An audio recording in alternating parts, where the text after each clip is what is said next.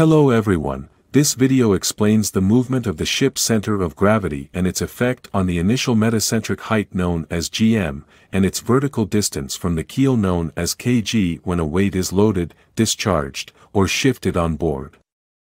Understanding the movement of a ship's center of gravity is critical for ensuring the vessel's stability, safety, and compliance with international regulations.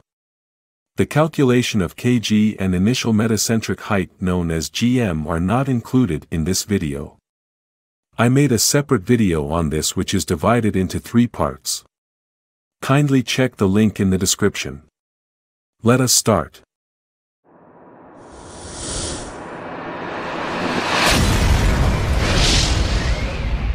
If this is the ship's transverse section and this is the centerline. The center of gravity of a ship is usually denoted by capital letter G and it is the point at which the total weight force of the ship is considered to act vertically downward. It is typically expressed in terms of its vertical position above the keel known as kg and is a fundamental parameter in ship stability calculations. Below G is the ship's center of buoyancy denoted as capital letter B. And metacenter is denoted as capital letter M.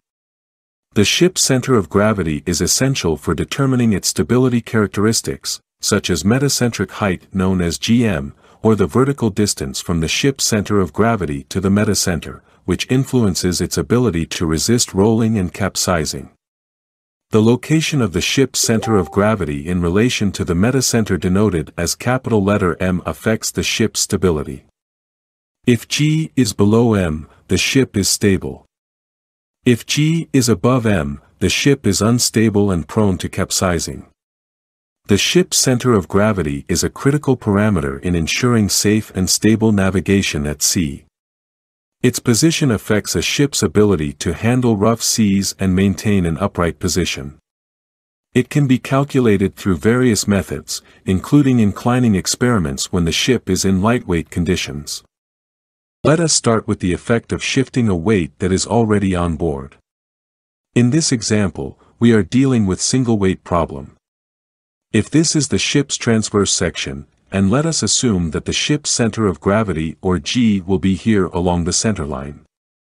A weight or cargo from the lower hold will be shifted on the main deck, just above the initial position of the weight being shifted. Then, the ship's center of gravity will move parallel and in the same direction as the shift of the center of gravity of the weight.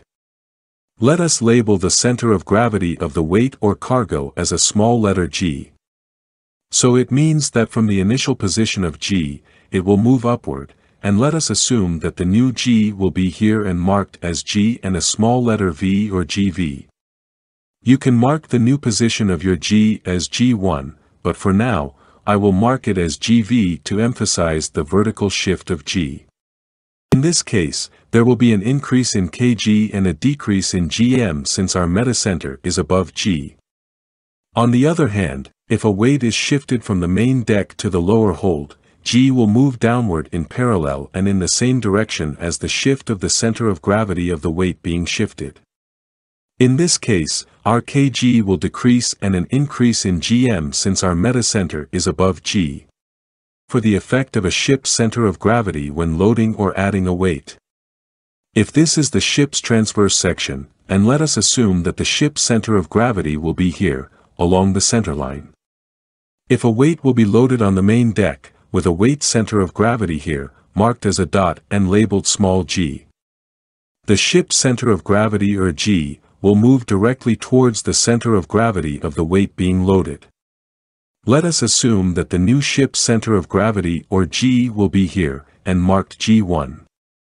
If you observed in this example, there are two movements of G. The vertical shift, which is from G to GV, and the other movement is the horizontal shift, from G to GH. But in this particular scenario, we will only consider the vertical shift which is the GGV, since our concern is only kg. For the horizontal movement of g, it will be discussed in another video which is the topic of list or ship's listing. So in this case, the effect will be an increase in kg and a decrease in initial metacentric height or gm. The next scenario will be the loading of a weight in the lower hold. Let us assume that the ship's center of gravity is here before loading a weight. Then a weight is loaded into the lower hold, in which the weight center of gravity is here, marked as a dot, and labeled small g. So the ship's center of gravity will move directly towards the center of gravity of the weight being loaded. We will assume that the new g will be here marked as g1 after loading. And the vertical shift of g will be here, marked as gv. The horizontal movement of g is not our concern in this scenario since we are dealing with the vertical movement of the ship's center of gravity or kg. So in this case, the effect will be a decrease in final kg and an increase in the initial metacentric height or gm. Next scenario will be We will fill in or pump in ballast water in the ship's wing tank. If this is the ship's wing tank, we fill in this one with ballast water. We will assume that the tank center of gravity when full of ballast water will be here, marked as a dot and labeled small g. So the ship's center of gravity will move directly towards the center of gravity of the weight being loaded. We will assume that the new G will be here marked as G1, after filling in ballast water. And the vertical shift of G will be here, marked as GV. So in this case, the effect will be an increase in kg and a decrease in the initial metacentric height or gm. To find the kg or VCG of the weight inside the tank, you can refer at the ship's sounding table. I will make a separate video on how to use the ship's sounding table, kindly check the link below. Next scenario for the effect of ship's G, when adding a weight is by filling in or pumping in water ballast in the double bottom tank. If this is the ship's double bottom tank, if we fill this with water ballast, and the center of gravity of the tank is here, marked as a dot and labeled small g, the ship's center of gravity will move directly towards the center of gravity of the weight being loaded. We will assume that the new G will be here marked as G1, after pumping in ballast water. And the vertical shift of G will be here, marked as GV.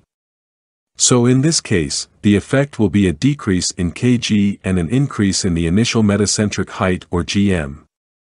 Again, to find the kg or VCG of the liquid inside the tank, you can refer it to ship's sounding table.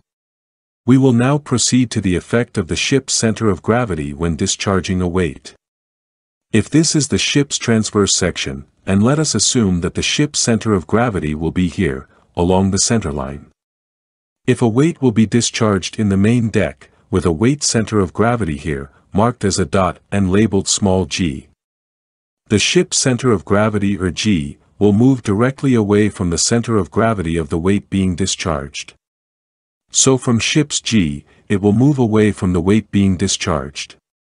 Let us assume that the new ship's center of gravity or G after discharging a weight will be here, marked as a dot and labeled G1. If you observed in this example, there are two movements of G. The vertical shift, which is from G to GV, and the other movement is the horizontal shift, from G to GH. But in this particular scenario, we will only consider the vertical shift which is the GGV, since our concern is only kg. So in this case, the effect will be a decrease in final kg, and an increase in the initial metacentric height or gm. The next scenario will be the pumping out or discharging of ballast water from the double bottom tank. If this is the ship's double bottom tank, and we will discharge ballast water from this tank. The tank center of gravity is here when full of water, marked as dot and labeled small g. After pumping out the ballast, the ship's center of gravity or g will move away from the weight being discharged. We will assume that the new g will be here, marked as a dot and labeled g1. And we will assume that the vertical shift of g to gv will be here, marked as a dot and labeled gv. So the effect will be an increase in kg and a decrease in initial metacentric height or gm. That's all guys, and thank you for watching.